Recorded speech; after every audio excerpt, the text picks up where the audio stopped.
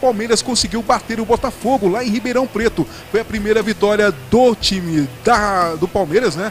Do Verdão, do Palestra Itália, da Leila Pereira, que alcançou, portanto, aí mais uma vitória importante nessa temporada, a segunda, portanto, o Palmeiras se preparando e também para fazer, claro, a Recopa com a equipe do Flamengo. Jogão de bola, o Botafogo deu trabalho, poderia ter alcançado não é, o empate ou até virado essa partida, porque teve muitas chances, principalmente no final do segundo tempo. Mas esse gol aí, ó, Rafael Veiga, um chutão.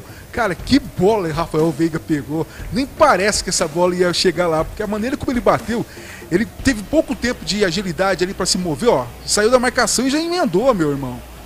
Que bolaça! Rafael Veiga, parabéns, meu velho. Que que é isso? Que golaço, que golaço. Bom, foi a vitória de ontem, portanto, do Palmeiras.